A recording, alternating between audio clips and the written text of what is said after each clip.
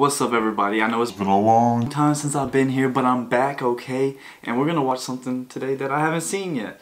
And it's based off of a game that I've been playing a lot recently and come to find out it's full of bugs, but I still like playing it. And yeah, so let's just hop right into this hilarious video by Flashgitz.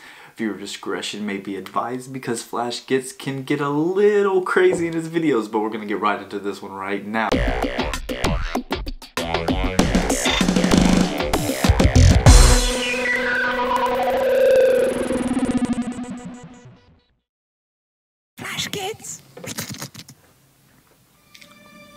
Flashgitz. Alright, so it's based on a true story. Ooh. Holy. That's loud. It hurt my Yes, ears. sir. Yes. So solid. Solid 60 FPS. Why is he on the table? Very good. Why is he on the Okay. table? Okay, you too. Bye bye. That's not very sanitary. That was the president of Poland. He says Okay. if cyberpunk fails, the whole Polish economy will crash. What the heck? What will we do? So they're gonna buy desk job, I chairs, but they're not gonna catcher. even sit in them. I cannot go back. Everyone, shut up. Ooh, we have I to think of to him. something. What about another delay? No, you've had enough delays, Stanislav. Come on, just a little delay. Just a little. Just a little delay. Stanislavy. Hmm. Oh no. Don't you get it? Somebody put him there down. are no more delays. Any more delays, and there is no more Poland. No more schmigas Ah. dingus? No more pierogies? No more evil big booby Slav women? That's right.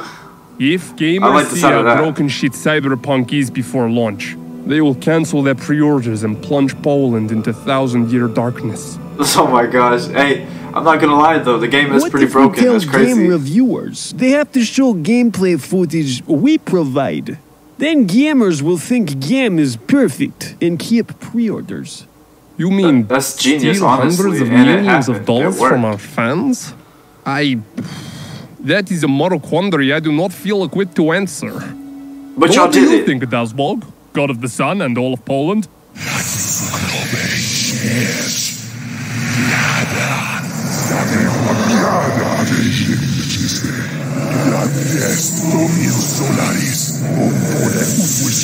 I can't understand that man.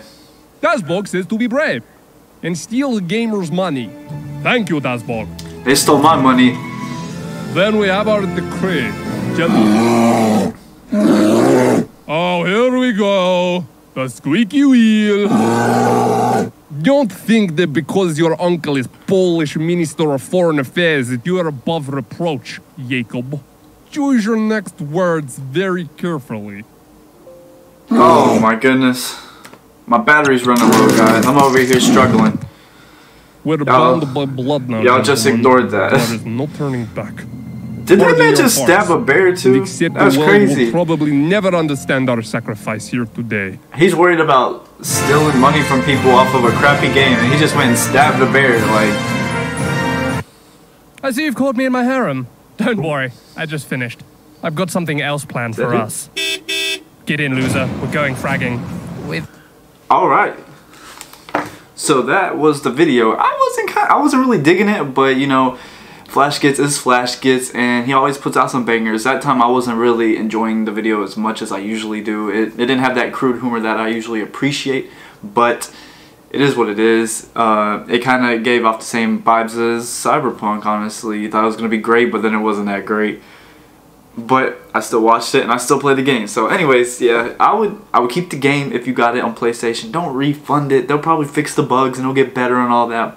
But anyways, that's it for me. I hope everybody has a great day. I hope everybody enjoyed this video. And thanks for watching. DurtyBurd.